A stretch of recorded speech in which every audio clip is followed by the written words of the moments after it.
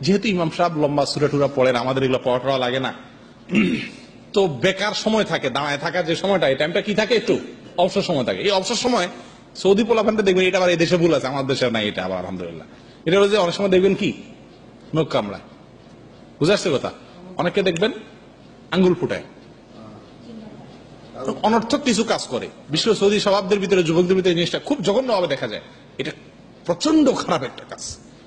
নামাজের মতো ইবাদত করতে আসছেন আপনি, এই সমস্ত ফালতু কাজ করতেছেন এটা খুবই খারাপ কাজ। আল্লাহ রসুল সাল্লাহ সাল্লাম বলেছেন, লা তাফ, লা তাফরাকা ওয়ান তাফিস সালাহ। তুমি নামাজে থাকা অবস্থাতে হাতের কি করবা না, এই সমস্ত? ইয়ে আঙ্গুল ফুটাবা না। অতএব আঙ্গুল ফুটানো, এটা যেমন খারাপ কাজ, ঠিক একইভাবে অনর্থক কাজ। যেমন নক্ষটা, বুঝে আসছে কথা? গোতরা ঠিক করা, হুম? তারপরে যায় জামার বুথাম লাগানো, খোলা মানে অপ্রয়োজনীয় কাজ যেগুলো নামাজ সংক্রান্ত না, এই কাজগুলো নামাজের ভিতরে করা, এটা বিশেষ করে জামাতবদ্ধ নামাজে অনেক দেখা যায়। কারণ ওই যে অবসর থাকে, ইমাম সব কারাত পড়ে, বেটা তো অবসর আছে, তো অবসর টাইমে এই কামগুলা করে। এক্ষেত্রে লক্ষ্য করতে হবে, কিছু কাজ করা যাবে।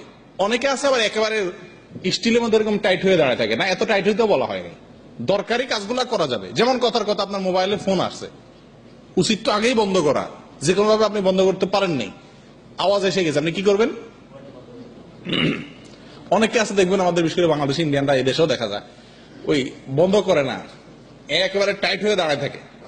এদিকে গান বাজতে আছে, সবার নামাজ শেষ করে দিচ্ছে। এটা একটা ভুল। আবার সৌদিদেরকে দেখবেন উল্টা, কি করে? অনেকে দেখবেন পকেটে বাইর করে। কে করছে? ও, এবার সে বন্ধ করে থই এরকম অনেকে করে। এটা আরও জঘন্য ভুল। কথা বোঝা আসছে? কারণ এতটুকু কাজ তো দরকার নাই। আমি বাইরেও করার দরকার না। এরকম হাতে পকেটের উপর দিয়ে একটু টিপ দিলে কি হয়ে যায়? বন্ধ হয়ে যায়। আন্দাজ তো আছে আমার মোবাইলে কোথায় টিপ দিলে বন্ধ হবে শেষ। অতএব কাজটা করবেন। প্রয়োজনীয় কাজ করা যাবে। যেমন কথার কথা আমাদের বিশেষ করে চুন মশায় কামড়ায় মুছে দাঁড়াইলে। মশা বেচারা তো অন্য টাইমে চান্স পায় না। জামাতে নামাজে দাঁড়াইলে বিশেষ করে চান্সটা নামাজ দাঁড়াইলে একটু পায়। তো মনে করেন কামড় শুরু করে দিলে এসি নাই মশা থাকে বেশি থাকে। তো কি করবেন? আপনাকে একেবারে স্টিল হয়ে দাঁড়িয়ে থাকতে বলে না কেউ। ব্যথায় ওদিকে ছিঁড়ে যাচ্ছে। কিসের নামাজ পড়বেন আপনি? মন আপনার ওখানে। ওই টাইমে আপনি কি করবেন? মশাকে একটু তাড়াই দিবেন হালকা করে, সমস্যা নেই।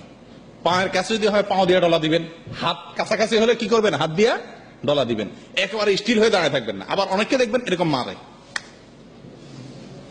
এরকম অনেক লোক আছে, দেখছি আমি, যে উনি মশা মারতেছেন। এটা এটা আবার অতিরিক্ত কাজ। এটা নামাজই হবে না।